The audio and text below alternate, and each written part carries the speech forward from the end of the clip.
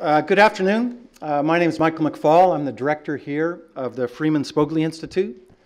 And on behalf of the U.S. Asia Security Initiative at uh, the Shorenstein Asian Pacific Research Center and Stanford's Institute of Economic Policy Research, uh, we're really pleased to have you all here today. Frankly, I'm shocked that so many people are here, Ambassador, on a beautiful day at 5 to 4. Uh, but that shows that even out here, there's a lot of interest in TPP and what it means for the future for our country, the region, and maybe even for California. Uh, it is my fantastic privilege that uh, we have here today my old friend and my former colleague, uh, Ambassador, do I need to call you? Okay, Ambassador Michael Froman. Um, uh, Mike, as you know, is the ambassador and runs USTR. Uh, he's been with the Obama administration from day one. Uh, we started there together at the NSC. Um, he has lots of titles that I'm not going to go through for you. He was a deputy national security advisor, assistant to the president for international economics. But what you really need to know is from day one to now, he has been involved at the highest levels with the president on every major international economic issue that the United States deals with from the trade agreements we did, or you did, uh, in the last term to TPP today, and in between, the most important thing you did, Michael, was you helped Russia get into the World Trade Organization. I don't know where that ranks in your, uh, what you think, but for me, that was a seminal moment of your career. Um, and uh, literally every single thing, G20, G8, ASEAN meetings, uh, Mike is the president's right-hand person for all of those things in Washington, but he's also the chief negotiator for all these agreements abroad. Uh, going out with a bang with our, well, we'll hear what he has to say, but I think one of the most historic trade agreements that we've had, maybe one of the most important ever in TPP, which you're going to hear about from right now, from Mike in a moment. I remember the first day I heard about TPP, we were in Singapore together at the first ever US ASEAN summit at the heads of state level. I was there to deal with the START Treaty. Uh, but we were flying over, and everybody kept referring to Froman's TPP thing. Uh, and they were saying it rather pejoratively, just so you know, Mike. It's like, what the hell is this? It looked really complex. It looked like there was no way we could ever get this thing done. Uh, and the aspirations seemed crazy to all of us. So we all referred to it as Froman's TPP thing. Well, now TPP is a thing a really big thing. And we're really honored that Mike took some time out of his busy schedule to come talk to us today at Stanford. So thanks for being here, Ambassador Froman. Thank you. Well, thanks very much. Uh, thanks very much, Mike. And it's a privilege to be here uh, with you and Karl. And you two really represent a, a rare breed of having one foot in academia, one foot in the policy world, and, and just thank you for your service and thank you for being such a role model for students here and uh, elsewhere around the world. Um, speaking of role models, the first minister the U.S. had to Russia um, had also been a professor before he went over there, and that was John Quincy Adams. And he too came back to an illustrious career in public service. Um, he came back around 1814 at a time when there was a great competition going on around the Eurasia region. The, the, Russians called it the Tournament of Shadows. The British called it the Great Game. And this is something, of course, Karl knows a lot about as well, having been both a general and an ambassador in Afghanistan. Now, when it comes to trade, we may not be involved in anything quite as dramatic as the Great Game, but we are engaged in an important effort to promote our ideas about how the global trading system should evolve, uh, how it should take into account changes in the global economy, and how best to promote growth, development, innovation, and jobs in a way that's consistent with both our interests and our values. It's easy to take the current global trading system for granted, but in historical terms, today's openness is a relatively recent achievement and a fairly significant one at that. Since World War II, trade liberalization has added $13,000 on average to each American household's annual income. And it's helped lift more than a billion people out of extreme poverty. And not many public policies can claim that kind of impact. But the system that's delivered so much up to now is bending under the strain of seismic shifts and competing approaches. In recent years, a series of, of forces, globalization, technological change, the rise of emerging economies have reshaped and continue to reshape the global economy. And as President Obama has said, just as the world has changed, our architecture must change as well. The Trans-Pacific Partnership, TPP, signed earlier this month, is a critical part of that architectural effort. It involves bringing 12 countries, comprising about 40% of the global economy, countries large and small, developed and developing, together to define high standard rules of the road for the next chapter in the global economy. It updates our trade policies to reflect today's economic realities.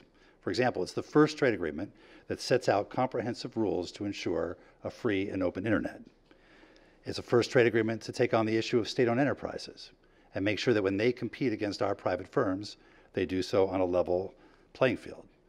It promotes innovation by having strong intellectual property rights protections, but at the same time, takes steps to ensure access to the product of that innovation. It embodies the highest labor environmental standards of any trade agreement, and those standards are fully enforceable, just like any other provision of the trade agreement. As Secretary Kerry is, likes to say, this isn't your grandfather's trade deal. And Americans will benefit from all these advances. By tearing down barriers and raising standards in other markets, we'll see an estimated $350 billion a year increase in our exports, manufactured goods, agricultural products, services, the kind of products that California excels in. And we know that businesses that export tend to grow more, pay more, hire more, and are more resilient during times of economic challenge. So by removing foreign barriers to American exports abroad, TPP will support good, well-paying jobs here in the U.S. Export-related jobs pay 18% more on average than non-export related jobs in the same sector. So in a time when we've been concerned about wage stagnation and income inequality, increasing exports also helps increase wages. And by raising these standards abroad, we can level the playing field for our businesses and our workers and give them a fair chance at competing in all areas, but in particular, the digital economy. Uh, TPP will not only raise the income and exports for TPP members, but for the rest of the world as well. And during a time of great economic uncertainty, TPP can provide a boost to global growth. As Christine Lagarde, the managing director of the IMF, has said, TPP is part of the solution for avoiding a new mediocre in the global economy. But it's not just about promoting higher growth. TPP is focused on the quality of growth. It's focused on new and emerging issues in the global economy and setting high standard rules that will bring the greatest benefits to the largest number of people, ensuring growth that's both inclusive and sustainable. So to understand how far-ranging the consequences of this could be, one need only consider the alternatives. Because in today's fast-changing world, the choice isn't between TPP and the status quo. It's between TPP and alternative approaches being put forward models that don't necessarily reflect the high standards embodied in TPP, models based more on mercantilist visions of trade and investment than the open rules-based trading system that's been so enormously beneficial. In those alternative models, the state is often absent where it should be present and present where it should be absent. Rather than promoting fair competition and combating corruption, they're rooted in excessive and unfair subsidies. Instead of recognizing the importance of labor and environmental protections, they tend to sacrifice long-term interests for short-term gains. And instead of building bridges to unlock innovation, they raise national walls to block the free flow of ideas. Consider the internet. I don't have to tell people around here how revolutionary the internet's been in terms of promoting growth, promoting innovation, promoting development. But it's also had a transformative effect on global trade by creating a modern ecosystem in which goods are traded, services are provided, and supply chains are integrated across borders, dramatically expanding and democratizing international trade. But the ecosystem that's allowed the internet to prosper thus far shouldn't be taken for granted. In the absence of rules ensuring that the internet remains open and free, there's a significant risk of states erecting multiple barriers to its operation.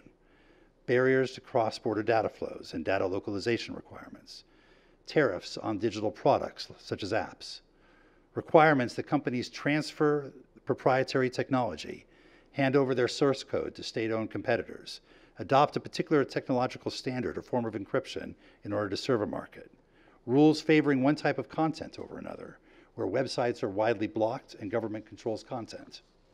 These aren't hypothetical risks. They're real policies being implemented in countries around the world.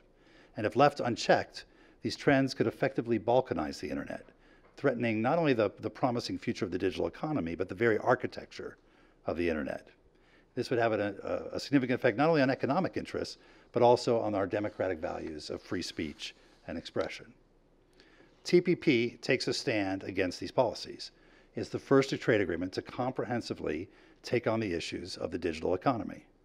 It promotes the free flow of data across borders and prohibits forced localization of digital infrastructure, no national clouds or regional internets. It prohibits tariffs on digital products, eliminates tariffs on information technology products, prevents forced technology transfer, and includes a provision for combating trade secret theft, including by cyber theft. It ensures access to networks and to the services needed to conduct e-commerce. And it requires countries to create greater transparency in their regulatory process and allow input for stakeholders, for, from foreign and domestic stakeholders, to adopt consumer protections, including for privacy. So there's two different visions of how the internet and the digital economy might evolve, and TPP presents a clear choice about the future. And it's this set of rules, which we call the Digital Two Dozen, which we'll be releasing today here, uh, summarizing what TPP can do for the digital economy. The impact of this choice will be felt as acutely by startup entrepreneurs here in Silicon Valley as the entrepreneurs in Singapore. The benefits of the internet stem from its openness and the ability to connect people and move information freely. And at a time when those principles are at risk, TPP will help strengthen the coalition that defends them and, in turn, the integrity of the internet itself. This is a, uh, a dynamic time for the international trading system. Through TPP, we brought together this diverse group of economies at various stages of development to set a, to define a set of high standard rules. That wasn't an accident, it was by design to demonstrate that the TPP model can work for a broad range of countries and it can serve as a template for future agreements. We've united TPP countries around high standards, and that leadership is already having a magnetic effect with more and more countries coming forward saying they'd like to join TPP, including the Korea, the Philippines, Indonesia, Taiwan, and others. Now, there are a number of other regional initiatives underway. Russia has the Eurasian Economic Union. China has its One Belt, One Road initiative and the Regional Comprehensive Economic Partnership, a 16 country trade negotiation spanning India to Japan. The EU is negotiating a free trade agreement with Mercosur.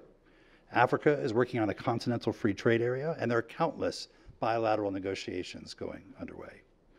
And unlike the great game, this is not a zero sum competition. All of these arrangements can coexist. But it's very much in the interest of the United States and countries with whom uh, we share interests and values that we continue to engage, take the field, and lead a race to the top. Otherwise, we're likely to find ourselves in a race to the bottom that we cannot win and should not run. So that's why TPP is so important, not just for the growth it promotes, the rules it sets, and the values it embodies, but for how it reinforces U.S. leadership around the world. Our leadership in TPP has catalyzed progress in our negotiations with the European Union over the Transatlantic Trade and Investment Partnership. And as we've demonstrated progress in TPP and TTIP, we've caught the attention of major emerging economies, developing countries, and least developed countries who don't want to be left behind. And that, in turn, has mobilized an effort together to revitalize the broader global trading system. After 15 years of deadlock in negotiations, we've managed to achieve multilateral agreements on trade facilitation and ag agricultural export subsidies. We've reached agreements at the WTO to eliminate tariffs on over a trillion dollars of information technology products, and we're now working to do the same with environmental goods. We're making progress in liberalizing trade and services and uh, working with countries large and small, developed and developing for the first time they're now having a serious discussion about new ways to resolve historic issues and about how to introduce new issues into the multilateral trading system.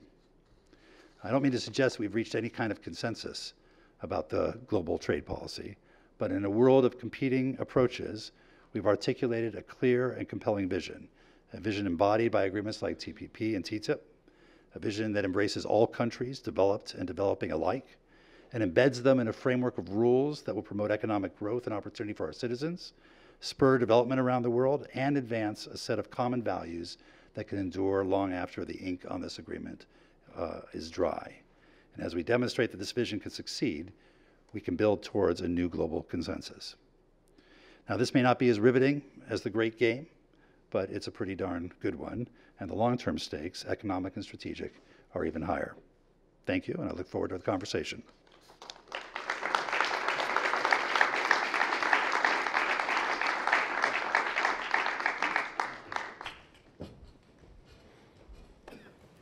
Well, thank you, Ambassador Froman. Mike, uh, as we got, uh, as we prepared for uh, his visit, we learned very quickly that he would give very brief remarks because he wanted to engage with the uh, audience. So we really appreciate that. So let's uh, let's get started right away. If it's okay with you, Mike, I'd like to ask a few questions and then get get with the audience. So first. Um, Mike, the, the history of TTP is a very interesting one. It goes back to 2005, and we have the uh, likes of, well, we have uh, Chile, Brunei, New Zealand, and Singapore come together in 2005 and start talking about a trade agreement. And here we are in 2016, and you're talking about an agreement with 12 countries that, as you had said, it's going to encompass 40% of the world's GDP, one third of world's trade how did we get here? And, and then some of the uh, decisions about who's participating right now. Republic of Korea, we have our former ambassador to the Republic of Korea, Kathy Stephens here. Um, Republic of Korea not here uh, in the agreement, Vietnam is. And um, maybe just uh, talking about the path that uh, we've walked since 2005 and is there anything in that, uh, as we've walked that path, that should help inform how we proceed with trade agreements in the future? Well, uh, Karl, as you said, it started with what was called the P4, uh, who together decided they wanted to do something and invited the U.S. to participate. And uh, to be frank, there was initially a fair degree of skepticism about whether uh, this was something that we should invest a, a, lot of time and energy in. But um, given what was going on in the multilateral trading system and the lack of progress there, uh, we decided that if we could uh, engage with the P4 and shape this to be a high standard platform, that it was worth engaging in. And we had a very frank set of consultations with the P4 about whether they were willing to work with us on this. They decided that they were. Um, soon after that, uh, the uh, countries like Malaysia, uh, Vietnam, um, Australia also uh, joined. Um, and ultimately, uh, Canada, Mexico, and Japan joined. And of course, when they joined, as an economic matter, it dramatically increased uh, its uh, significance.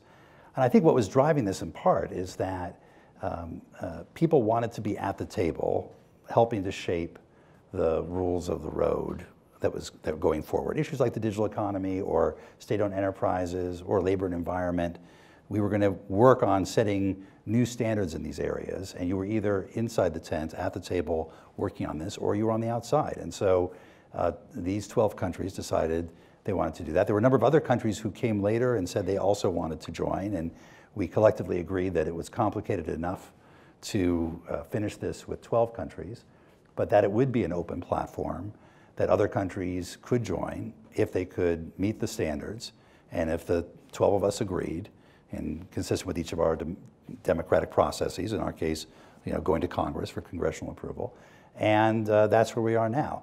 Now, what's happened is both before the negotiations were completed and certainly afterwards is that we've had a lot of interest by countries who want to be part of this. They see this as a, a, a dynamic platform to be part of. They don't want to be left out. Um, and we expect that over time it, it will likely grow. Thanks. Um, Mike, I was driving down uh, Highway 101 here uh, about a month ago and turned on NPR and uh, there was an interview with Steve Inskeep, and I thought that uh, you said something very interesting. You said globalization exists, but we shouldn't conflate globalization with trade agreements. Trade agreements are how we can shape globalization. What did you mean by that? Well, look, I think, uh, I think there is a, um, a vibrant and open debate about globalization and its impact. And there's no doubt that it's had an impact on all of our economies uh, whether it's on the composition of production, wages, uh, jobs, et cetera. Um, but globalization is a, is a force. It's the product of the containerization of shipping, uh, the spread of broadband, the integration of economies like China and Eastern Europe that used to be closed to the rest of the world into the rest of the world. Uh, that's just a, that's a reality. Uh, if we do nothing, we are affected by globalization. If we do nothing in the United States, for example, we will compete with low wage labor all around the world. The question is whether through trade agreements we can shape that environment. So both by disproportionately reducing barriers to other countries, the US is already an open economy. Our average applied tariff is 1.4%. We don't use regulations as a disguised barrier to trade. But when we look across the Asia Pacific region, even the TPP countries, 70% tariffs on autos into Vietnam, 50% uh, tariffs on engines, 35% tariffs on uh, chemicals, 40% tariffs on poultry. It goes on and on and on. And so we're relatively open. Other countries have more barriers. If we can lower their barriers and at the same time raise standards, so make sure that they have labor and environmental standards, since our workers and our firms do operate under labor and environmental standards, if we can raise standards abroad, then it's a more level playing field. And we are very confident that the American worker can compete and succeed in a global economy where the rules are fair and are fully enforced. So through trade agreements, it's how we shape that. And um, uh, uh, whether it's, again, by reducing these barriers or leveling the playing field by raising the standards, we are, will be better off with the trade agreement than without it.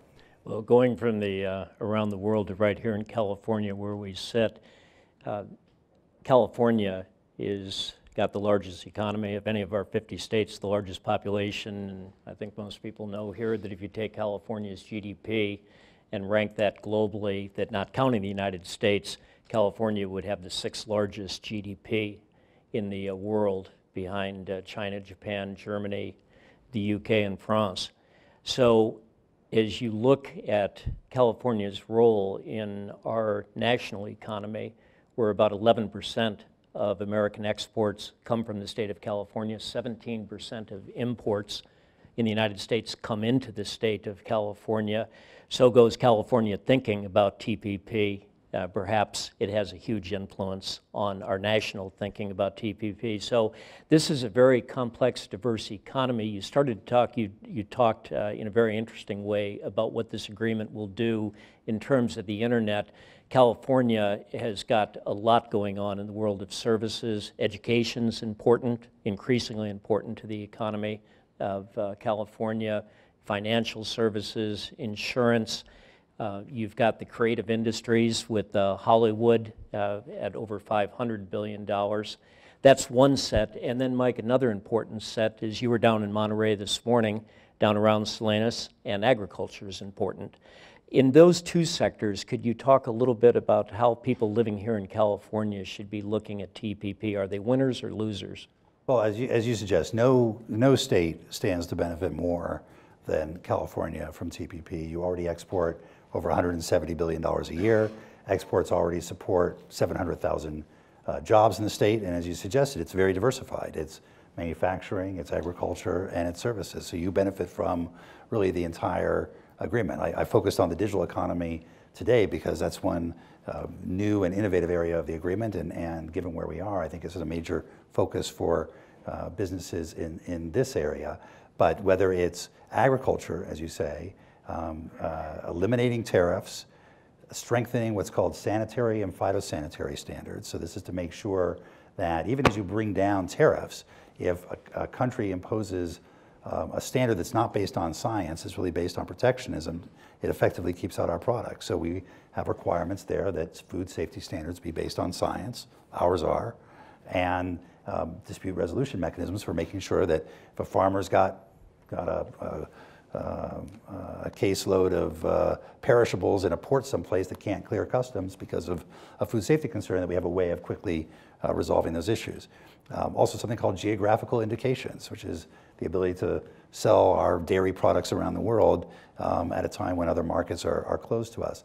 So it's very good for agriculture. We now are a major agricultural exporter in the United States. We, we export over $150 billion a year. And for California, whether it's uh, fruits and vegetables, uh, nuts, wine, really uh, uh, soybeans, I mean, the, the whole array of products that we make here and grow here in California uh, will find markets abroad because we know that as middle classes emerge, the first thing they want is more uh, nutritious products, more protein, um, uh, more safe food.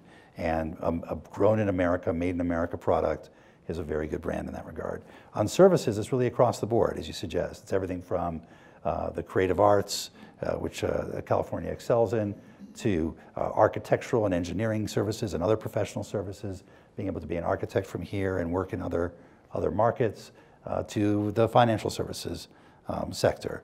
Uh, services employ four out of five people in this country. It's our largest part of our economy. We have a major services trade surplus with the rest of the world. We're very good, very competitive globally at trading and services, and this will open some of the fastest growing services markets in the world.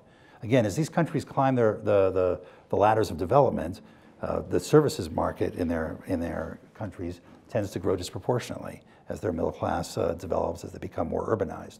And so this is well placed for California to benefit in that regard as well. Mike, last question for opening it up to the uh, audience here. So uh, you talk about the gains that will be made for the macroeconomy, but there's uh, great concern in our country right now about wage stagnation and income inequality. It's a big political issue right now.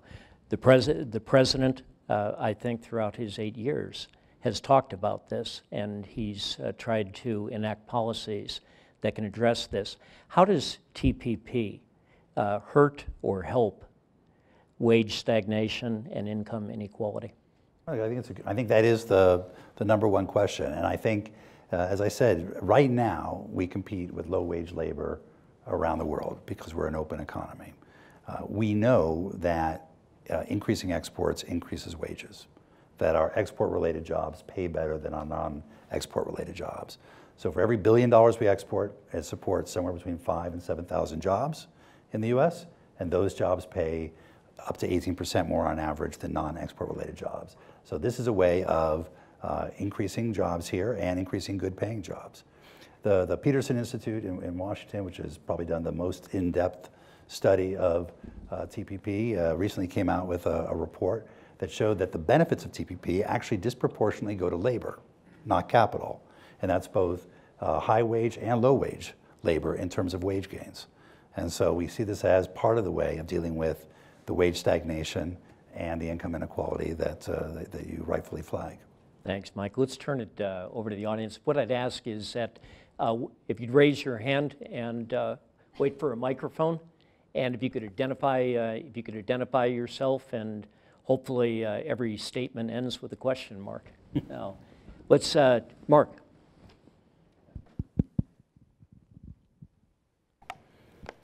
This was uh, very interesting. So I'm Mark Duggan from the Stanford Institute for Economic Policy Research, and I'm interested in getting a sense of uh, how the reduction in trade barriers differed across sectors. Where were the biggest reductions? And where were there somewhat smaller reductions, either because the trade barriers were already relatively low or because for whatever reason they, they in place. And then similarly, across the 11 countries, we already have this well-known agreement with Canada and Mexico, for example, were the aggregate reductions for those two countries relatively small compared with the other nine, just as an example? So, um, uh, first of all, in this agreement, all manufacturing tariffs will go to zero. Every country, every line. There'll be different staging, but they will all go to zero. In the agricultural area, um, the vast majority will go to zero. Where they don't go to zero, and we have uh, export interests, we've achieved either significant reductions or quotas that will grow and give us more commercially meaningful market access uh, to the countries. From our perspective, 80% of what we import from TPP countries already comes in duty free, precisely because we have free trade agreements with half the countries already. And where we already have free trade agreements, there's no more tariffs to give away. There are other barriers that we were able to, to uh, address. For example, dairy in Canada, which was excluded from, uh, from uh, uh CFTA and from NAFTA, is covered under, is covered under TPP. John.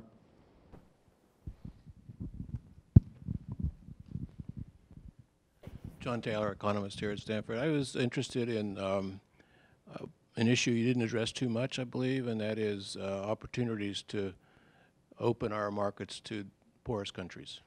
AGOA. I'm, I'm thinking of, of Karl over here over in Afghanistan, sort of why can't we ship some of our textiles to the, so a little bit about that. It's, it's a tougher issue, but it seems very important. Well, it's a great, uh, great issue. Thank you for raising that. And in the last year, I think we've made real progress on that. So it was June of last year that Congress renewed our GSP program, Generalized Systems of Preferences program, which had expired for two years at that point. And that's the program under which most of the imports from uh, developing countries, and particularly LDCs, uh, come into the country. Uh, AGOA was also renewed in June for 10 years. AGOA is the African Growth and Opportunity Act. Uh, uh, it was 10 years is the longest extension that it's ever had. Um, and we're already engaged with a number of the African countries in thinking about what the next phase of our trade relationship is. Because a lot of them would now like to move towards a more permanent, reciprocal trade relationship, and we're having that kind of uh, conversation uh, with them. One thing we, before we renewed AGOA, uh, we, did a, we studied it for about a year and looked at what had worked well, what had worked less well over the last 15 years. One thing that was interesting is that uh, it became clear that tariff preferences alone are not sufficient. We, we reduced or eliminated tariffs on, I think, 6,000 lines of products coming um, out of Africa. But the, the growth in those products, in their exports, was still relatively modest. And it had to do with other, as you might imagine, other elements of the environment that led to their competitiveness, whether it was physical infrastructure, the difficulty of getting product from, from farm to market or from factory to market, uh, or trade capacity building that needed to be done so they could take full advantage of it. So one thing we did with the renewal of AGOA is also put in place a comprehensive program to look at the whole ecosystem. So we have trade capacity programs, trade facilitation programs. We're focusing on parts of the infrastructure, particularly in the power sector, so that it's not just tariffs, but it's the rest of the, of the uh, uh, factors that will help contribute to whether Africa can take advantage of it. And Mike, can I ask a, a trade, uh, trade facilitation, trade capacity building uh, program? What would be examples of how, how that would uh, be Well, implemented? in, uh, in the East African community, as an example, uh, it used to take uh, 26 days to ship a container from the port to uh, Kigali, to an, import, uh, to a, uh, an inland city in, in Rwanda, um, because that truck got stopped every few miles on the road for inspections. Uh, it got to the border. It had to wait four or five days to cross the border. It got to the other side of the border, had to wait four or five days to get into the other country. That 26 days is now down to six days. By just working with the governments on both sides, going to a single customs clearance um, uh, post at the border, so it didn't have to go through it twice, computerizing the five customs uh, organizations of the East African community so they could talk to each other and exchange information. You didn't have to fill out the forms five times. Um, just nuts and bolts like that allowed now that product to make it to market uh, much more quickly and much more cost competitively. What we were finding is that, that, uh, uh, that, that the same product coming out of East Africa, coffee or textiles, could not compete with the same product coming out of Central America or Latin America because it was so much more expensive, so much more inefficient to get their product to market. So those are the kinds of things that have nothing to do with tariffs per se, but you can eliminate tariffs, and if it takes you 26 days to get your product to the port, you're still not going to be able to sell anything to the That's United a great States. example. Thanks. Mike?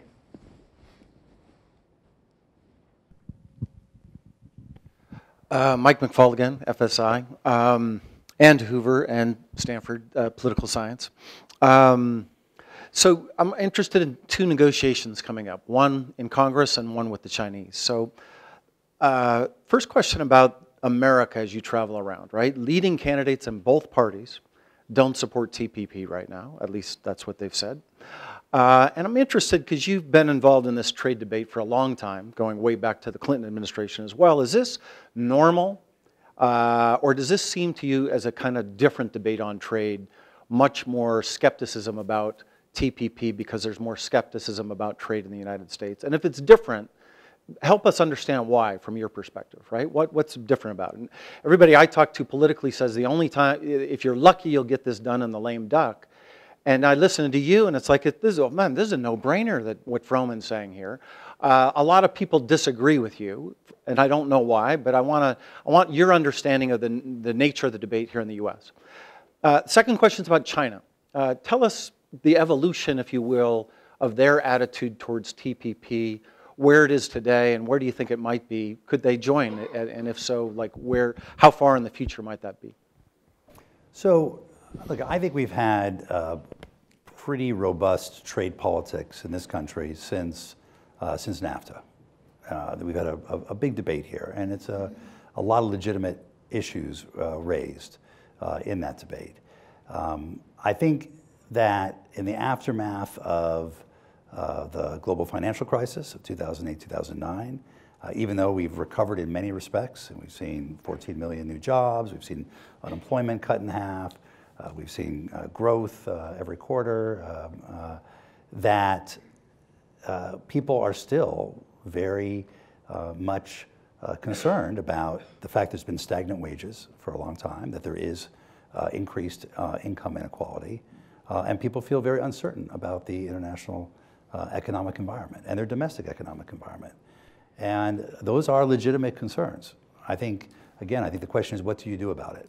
And our answer is you need to be proactive in shaping the environment in which we compete, or others will shape it for us, and it won't necessarily be to our benefit.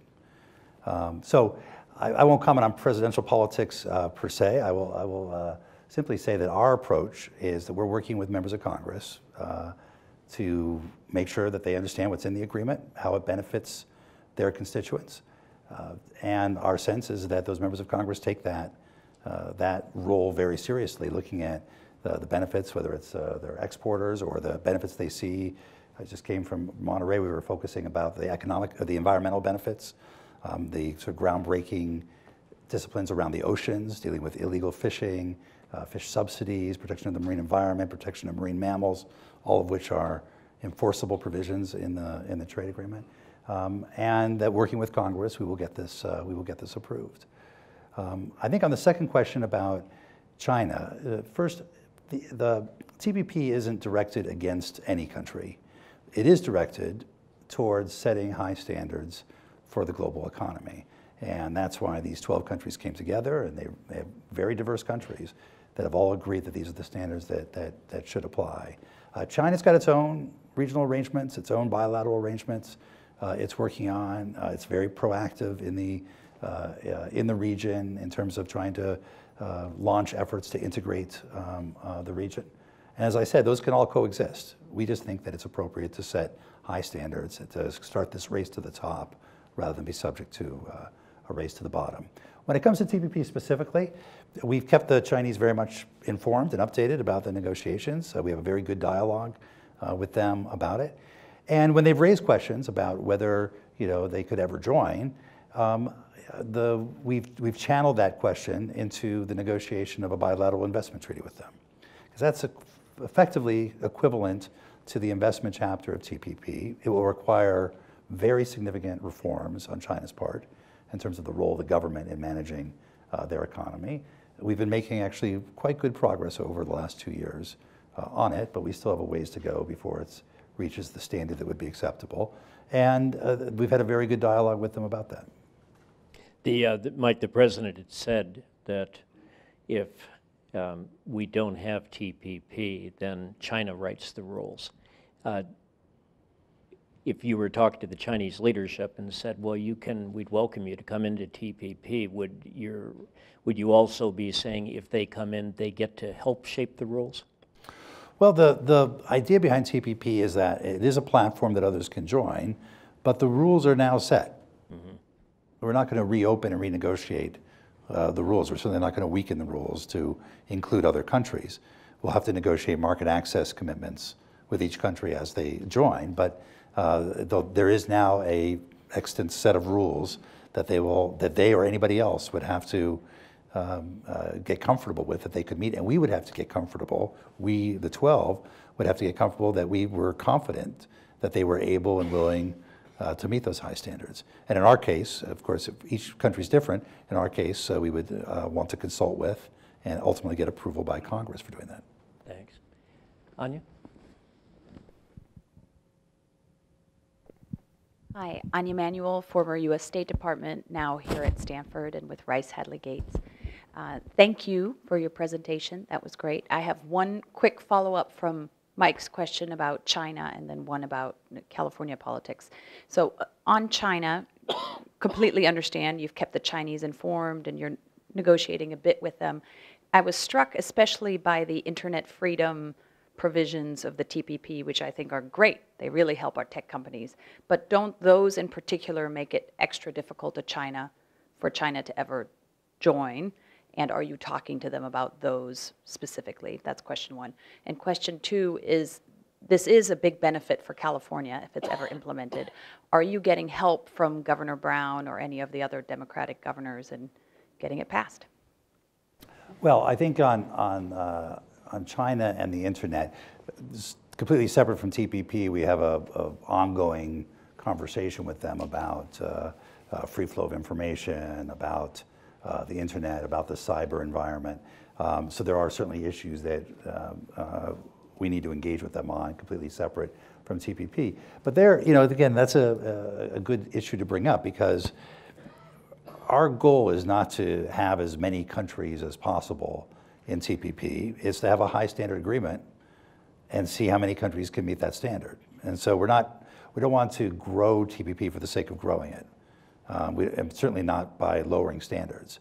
We are working with our, our fellow partners uh, to identify what we think the appropriate standards are for the new global economy, and then we'll see which countries are able to uh, are able to meet them. In terms of California, um, I think we have a lot of work to do with the um, congressional delegation uh, here to help underscore what the benefits of the agreement uh, are.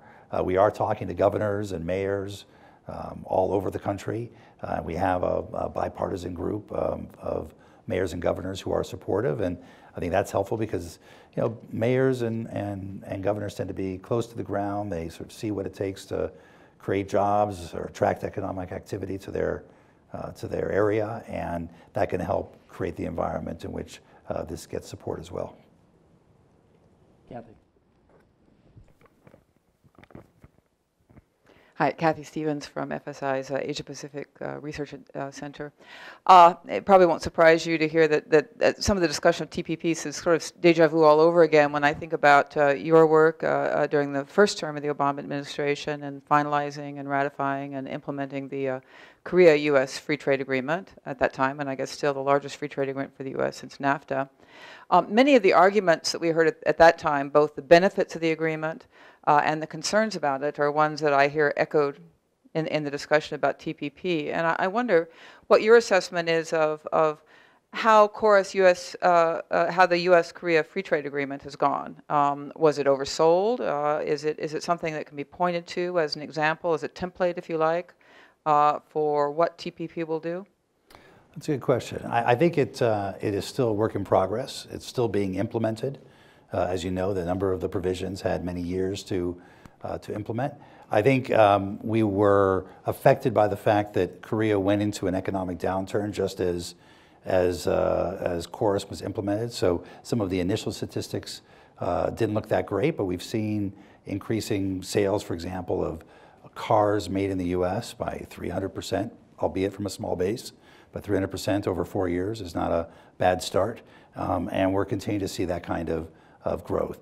I think um, in terms of implementation, um, it was uh, certain issues took longer than they should have to get resolved, but they ultimately all did get resolved. And we're working closely with the government of Korea to make sure that as issues pop up around implementation, concerns about it, that they address them uh, uh, as quickly as possible. Hey, do you want to wait for the uh, microphone, please? Thanks. Junnak Choi, uh, FSI Shorenstein APARC. So I think a lot of us have been working under the assumption that we will figure out how to get this passed in the domestic politics of the presidential election.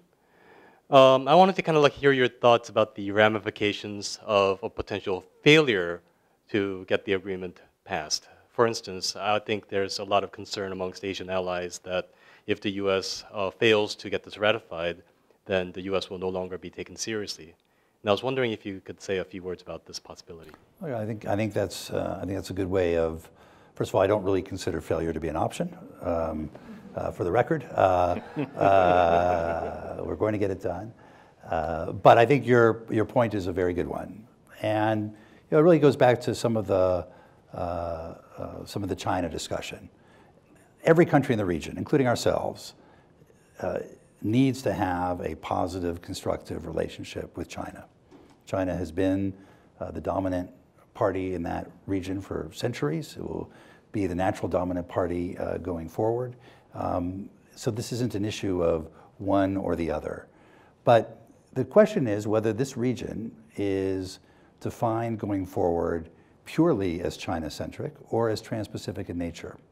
And in that regard, I think a lot of our Asian partners are looking to make sure that the rebalancing strategy towards Asia that the, that the president uh, launched is real and that the U.S., which has always been a Pacific power, has an enduring commitment to these countries and to doing what's necessary to engage. And TPP is perhaps the most concrete manifestation of the rebalance.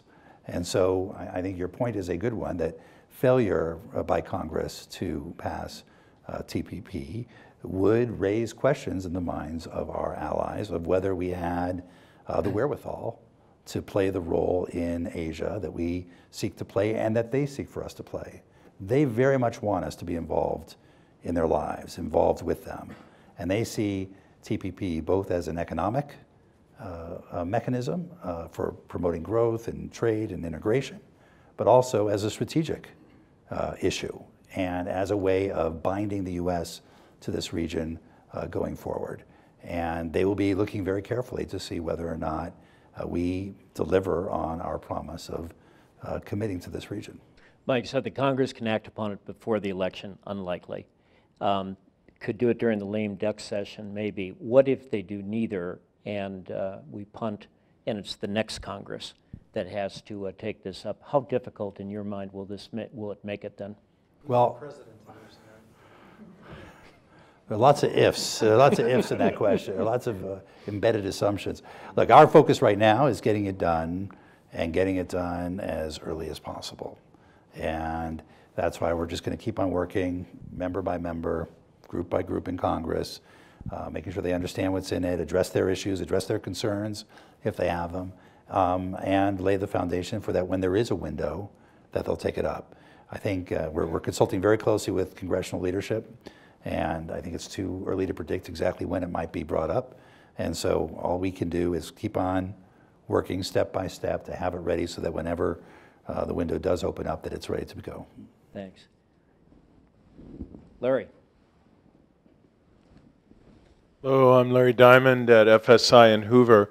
I have a question very narrowly about whether Taiwan would have to wait as a practical matter, in your view, for implicit or explicit Chinese approval or co-entry, um, or whether it really will be uh, judged in its bid for membership, which you know is going to come on the economic merits. But I also have a suggestion, if I can offer it.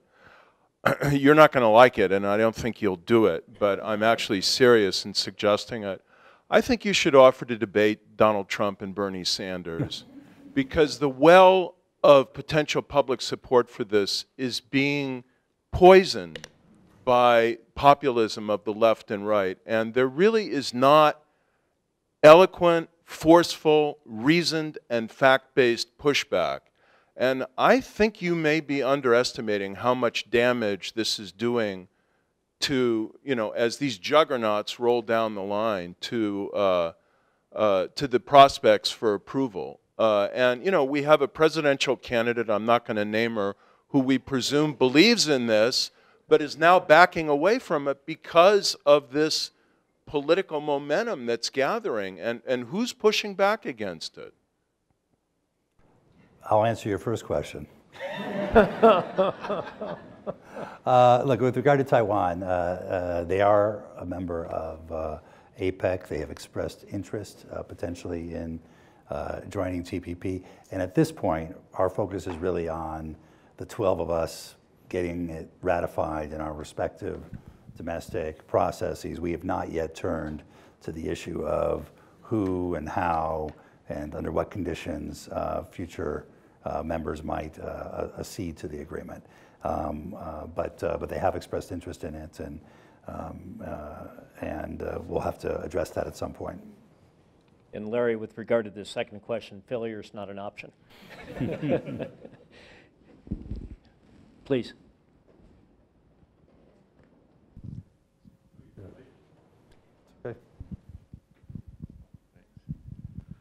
Hi, my name is Paul. I own a small business here in uh, Silicon Valley. My question has to do with these tribunals that will be decide or arbitrating any issues between, say, corporations and some of the host nations. And um, my concern is that these uh, tribunals are really outside of the jurisdiction of the U.S. courts, and they're like, if I'm if I'm correct, they're made up of member nations, the uh, that belong to the TPP, and but my question is, is this a good idea for something where the U.S. taxpayers could be on the hook, and it's being decided by some tribunal that's outside of the U.S. courts? And to me, I'm questioning the wisdom of that. Is that a good idea? Well, thank you. Thank you for asking the question. Uh, What he's referring to are the investor-state dispute settlement procedures, which, um, as he said, is a mechanism by which investors, businesses who have invested in another country, if they feel as though their property has been expropriated, for example, can bring a claim in a neutral international arbitration against the government. And it really goes back to the issue of whether a, uh, a company suing a foreign government is likely to get a fair shake in a foreign court. We have for a long time, and I'll, I'll, I'll give you the statistics here in a second, we have for a long time felt that it was important that Americans doing business abroad have some semblance of protection similar to the protection we give every American and every foreigner in the United States under the Constitution, under the Takings Clause of the Fifth Amendment, so that the government can expropriate your property, but if they do so, they have to pay prompt, adequate, uh, fair compensation. And that's really what this is about. And there's a long history of these neutral tribunals uh, arbitrating claims between companies. Actually, it goes back to the Jay Treaty after the Revolutionary War in terms of companies settling claims against governments. It was thought not to put that in courts, but to have claims tribunals uh, to, to address issues like that. There are 3,200 agreements around the world that include ISDS. This is not something new. It's not something the TPP invented. It's been around for 50 years. 3,200 agreements. The U.S. is party to 51 of them. We've had 51 agreements over the course of 30 years. Over the course of 30 years, 51 agreements, we've had a total of 17 cases brought against us. 13 cases to conclusion, and the government has never lost a case. And that's because our government regulates consistent with the Constitution. Because if you want to challenge something that the government does, you are likely to go to a US court where you can get not just compensation, you can get a rule overturned, you can get a law invalidated as unconstitutional, you can get it stayed uh, by a court. You can't do any of that in ISDS. ISDS only applies to the very limited obligations in the investment chapter of an agreement, and you can only get compensation. You can't overrule a regulation, you can't overrule a, uh, a law through ISDS. So we have worked over the course of, of our several agreements, and TPP takes it further than anywhere, any time before, to tighten the standards, raise the standards, close loopholes, add safeguards to make it very difficult to prevail in an ISDS claim except when what it's designed for, which is in a case of, for example, expropriation. And as a result, over the years, we've never lost, we've never lost a case. Uh, that's not necessarily the case around the world. Other countries have different standards in their agreements. One of the benefits of, of TPP, let's, let's say TPP doesn't go forward, then the 3,200 agreements exist with a varying degrees of standards. If TPP goes forward, we set a new high standard for ISDS, which makes it even more clear that governments can regulate in the public interest, that you can't sue because of lost profits, you can't sue because of an expectation that regulations will remain the same. These are all the kinds of reforms we have in TPP that haven't existed in these other agreements. So we see TPP, we, we agree with some of the concerns that have been raised historically around ISDS. We see TPP as addressing them. How are arbitrators selected and who are they accountable to? So, uh, the, as is sort of traditionally the case in arbitration, one party picks one, one party picks another. and the arbitrators pick a third, or if they can't choose, if they can't decide, it goes to, for example, a, a, an entity of the World Bank called ICSID that picks the, the third.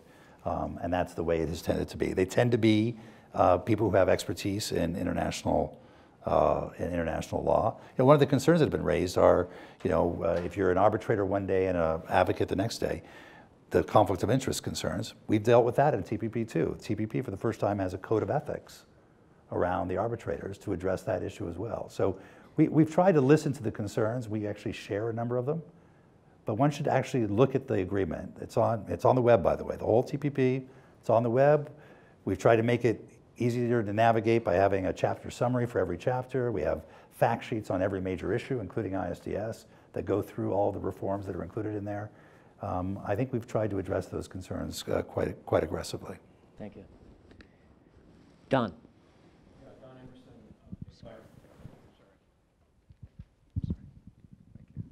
Don Emmerson, APARC. I have two questions, a narrow one and a broader one. The narrow question is this. From the beginning of the TPP, it was identified as a gold standard, you know, high, quality, okay?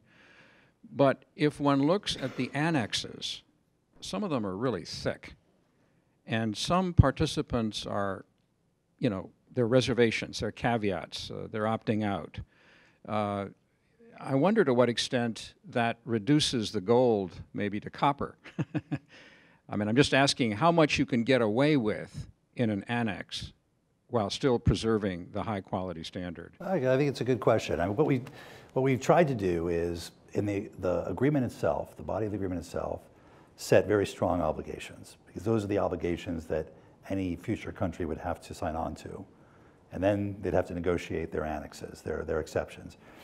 But we also try to be sensitive to each country's particular political sensitivities. Um, and some countries had more than others. We all have them, by the way, uh, but some have, some have, uh, some have more, uh, some have more than others.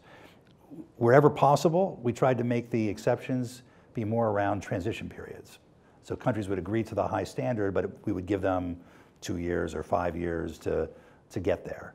Uh, where they couldn't live with that, and we had to, to, to, narrow the obligation somewhat, we tried to narrow it down as much as possible. And um, I can only tell you that over the course of the negotiations, what you see at the end is a much narrower version than what, where countries, uh, when, where countries started from. But I'll, I'll, give you an example. I mean, uh, an issue that is of particular political sensitivity in Malaysia is their Bumiputra policies. You know, these are the policies that uh, provide um, uh, effectively preferences for their majority Malay population. There is no way that Malaysia could agree to a trade agreement that got rid of their Bumiputra policies, and we committed early on to try to get to the highest standard agreement without forcing them to get rid of something that is so central to their history, their culture, their social unity. And that was part of the sensitivity that we tried to show there.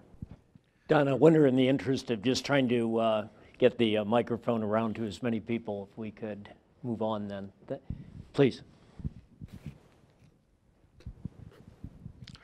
Claude Ezron from uh, Palo Alto. Uh, you explained the benefits of a TPP for United States uh, very well. One of the arguments you use is that uh, there was a very lopsided uh, situation with very high tariffs in some countries and very low in the US. But that turns, that begs the question, uh, why would the other countries, I'll take Vietnam as an example, that have very high tariff and who are selling very comfortably in the US, uh, a lot of goods. And uh, why did they accept to join the TPP? What's in it for, for them that we should know?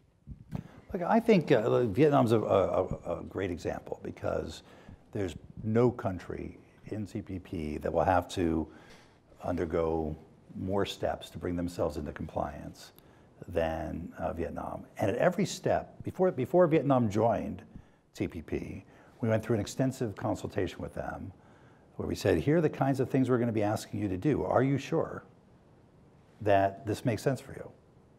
you we're going to be asking you to reform your labor market. We're going to ask you to reform your state-owned enterprise sector. We're going to be asking you to raise your intellectual property rights standards. Uh, we're going to be asking to have environmental policy. And they would go back and have their internal political process and come back and say, yes, this is the direction we want to take our country. TPP will help get us there. And so For some countries, they're looking at TPP as a way of helping to support domestic reforms that they want to undergo anyway. And this will give them the discipline and the structure uh, to, uh, uh, to do that. And when only need to look at the, the, the, in the labor chapter, we have something called the consistency plan for Vietnam, where Vietnam has agreed, here's a communist country, one party state, one labor union labor market, that's agreed to allow independent unions that can elect their own leaders, control their own finances, conduct strikes, uh, get assistance from other organizations, whether it's the AFL-CIO or the ILO, affiliate as they wish. That's really quite a substantial step forward. And, uh, but they see that this is a way of helping to stabilize their labor market where they have currently wildcat strikes. And they want to make sure that their environment is one where they're able to attract investment, uh, where uh, business activity is done on a stable basis.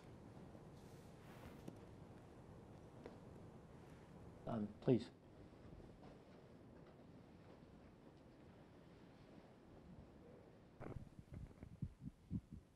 Um, Yang Lee at FSI, economist at FSI. I wanted to um, ask you about inequality a bit more further. Um, so you mentioned that there's going to be gain because there's exporter will have they have higher wages um, in general, but um, it's the nature of trade that there will be losers in, in, in certain sectors. Certain firms will have to import. Certain industries will be importing more, and um, in trade policy, TAA tries to help those by providing training to move into different sectors. Um, do you think that's still the best policies given um, the overall agreement of TPP, how large the scale is? Or do you have other recommendations in mind to deal with specific trade policies to deal with inequality issues? Well, uh, we were pleased that last year, as part of the trade package and trade promotion authority, Congress also passed a six-year renewal of trade adjustment assistance, which helps workers who are displaced by, uh, uh, by international trade. But obviously, we think there's a lot more that could be done, whether it's through education or investment in infrastructure or entrepreneurship and other things to make it more clear for everybody, not just for people affected by trade, to see themselves towards better jobs, higher wages, uh, and, and the like, including you know, minimum wage uh, laws and things of that sort. So we think there's much more to be done domestically, um, uh, uh more broadly, separate from, uh, separate from uh, TPP. I think what's interesting in terms of the, the the, the, winners and losers argument is we, we really have very little protection uh, left in the United States. And as I mentioned, 80% of the products coming in from TPP are already duty free. And so if you look at the areas where we have peak tariffs, uh, textiles, shoes, or other forms of protection, sugar, dairy, trucks. That's kind of it. Uh, textiles, we were able to come up with a position that our domestic textile producers support and our apparel importers. Shoes, we were able to come up with a position that our shoe importers support and that our um, uh, domestic producers are, uh, are okay with.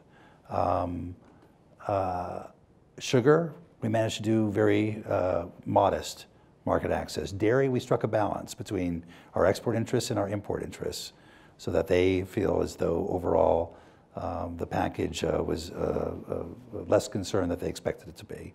Um, and trucks, the, the, the tariffs on imported trucks from Japan won't be eliminated until 30 years after the agreement goes into force. So we've tried to take those areas. If you can use existing protectionist programs or um, uh, tariff peaks as a proxy for sensitivities. We looked at the areas of sensitivity and tried to find solutions that would work uh, for those domestic industries as well. Mike, we've got about 10 more minutes. Um, one topic that's not come up uh, is currency manipulation. And uh, TPP refers to it, and yet you've got uh, one of the big winners listed in TPP is the uh, automotive industry, but you've got a Ford uh, Motor Vice President for International Relations which has said that TPP does not do enough for currency manipulation. So the agreement can be a wonderful agreement on paper, but still states manipulating currency are going to be able to erode any gain that we get out of this. So this is the first agreement where we have an arrangement um, among the TPP parties, negotiated by our Treasury departments and their finance ministries or central banks, um, on currency. And it does three things. It lays out criteria of what appropriate currency policy should be, drawing from the IMF, the G7, the G20. It requires enhanced transparency, which is quite significant because a number of central banks will now have to disclose when they intervene, how they intervene, how much they intervene. And then it's got an accountability mechanism where our financial authorities will get together on a regular basis and assess each other's uh, performance against those criteria. Um, uh, does it end in trade sanctions, as some uh, had hoped, where we would impose trade sanctions based on another country's monetary policy or, or currency policy? Uh, no, and that's something we ourselves decided we couldn't live with. We were not going to subject our monetary policy to review by a trade tribunal and have sanctions imposed because we engaged in quantitative easing or anything of that sort. Uh, but we think this does a, takes a meaningful step forward in creating some currency discipline among the TPP uh, countries. And just last week, the Senate passed the uh, customs bill, which also has some additional provisions on to give Treasury additional tools on currency so that they can continue to uh, use uh, their mechanisms to encourage uh, or discourage countries from, from engaging in currency manipulation. So it's, an issue, it's a serious issue. We take it seriously. We, um, uh, we did something that's never been done before in terms of a trade agreement, having, a, having an agreement among those trading partners on currency. Uh, but we didn't go as far as some would have liked in terms of having trade sanctions imposed on uh, each other's monetary policies. Great, thank you. Only if there's no other questions. There's more in the back. I'll take- Okay, fine. Uh, no, uh, Debbie, quite yet. right, uh, right here.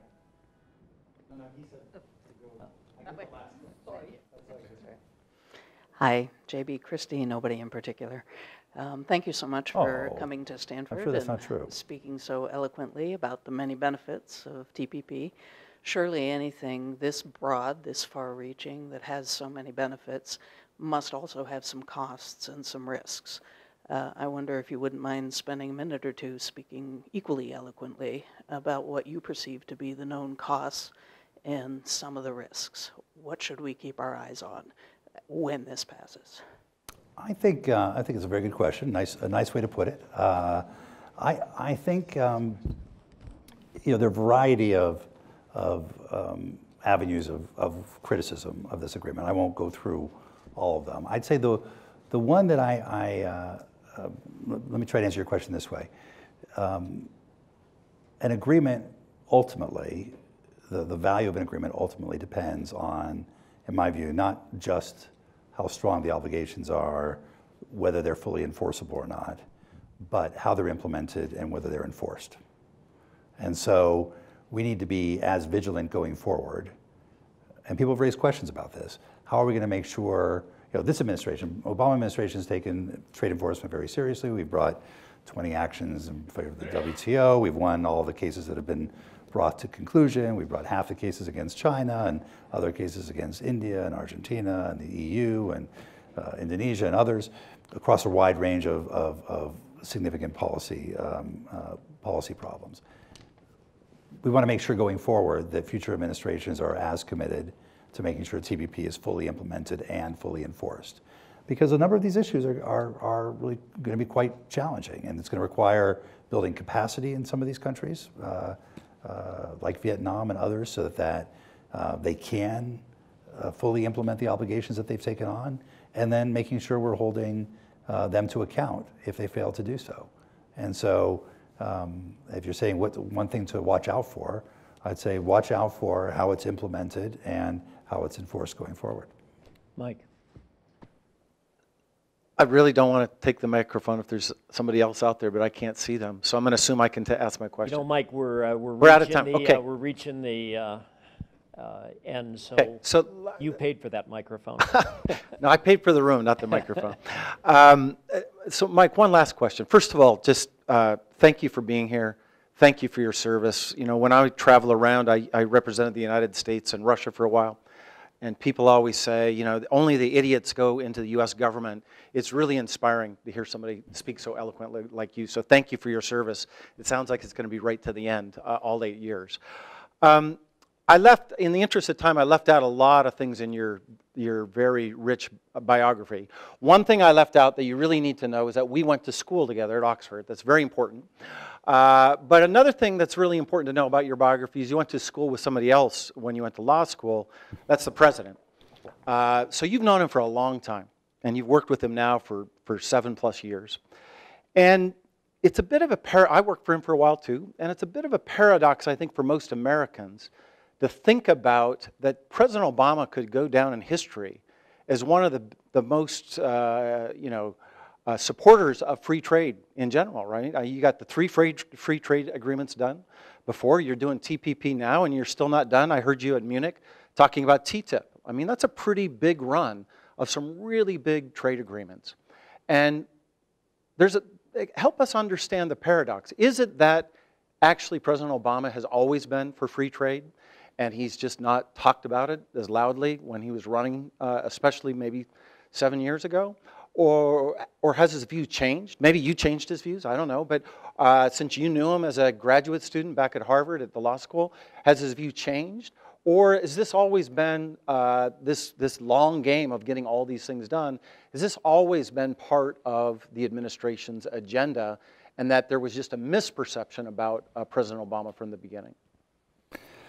You know, I, um, you've worked with him closely, so you, you've seen him work through issues and understand how his thought process works. I think uh, he's got two um, equally important lines of thought working through uh, uh, his history and his administration.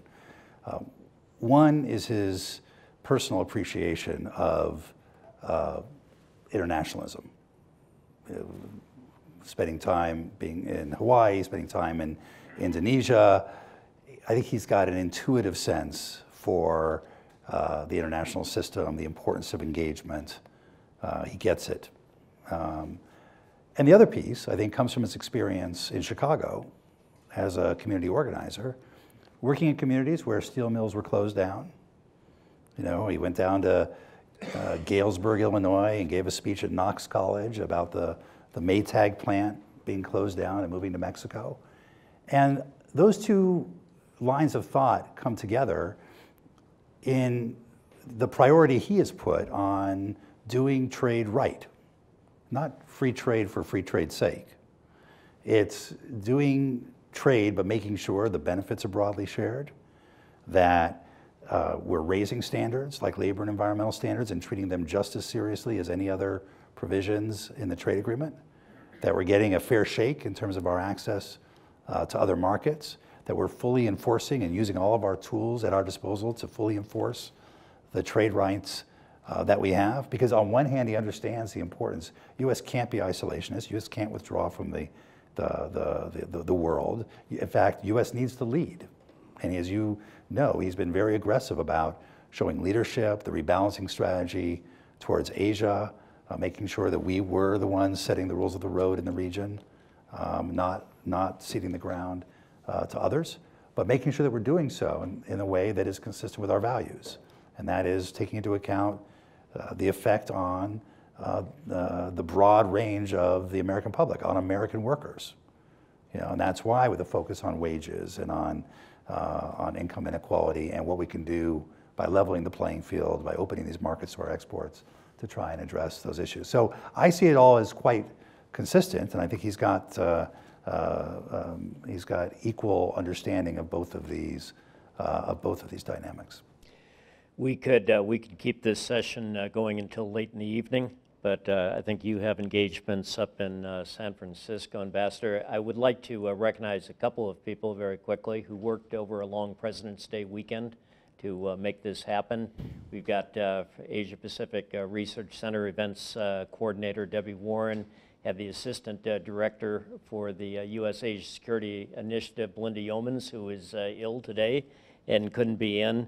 We've got Roger Winkleman, who makes all this magnificent technology in this room uh, usually work, and we've got Lisa Griswold, who's been uh, working well with uh, your with your team. So, uh, with that, I did want to say that Ambassador, it's really been inspirational to uh, following up on what Mike had said, to consider how tireless your team has been working over the years now to get this agreement. What's really neat here today is now uh, the agreement uh, is uh, ready to uh, be presented to the United States Congress, and you being here today is a really a representation of why our democracy is such a democracy to be proud of. That you here, as a senior public official, you're making your case, and uh, then it's up to uh, those that hear your case to take your information and all information, make their own choices, and uh, call up their congressman and tell them what they think. Thank you so much for your service and your team's service. Thank you. Thank you. Good question. That's good.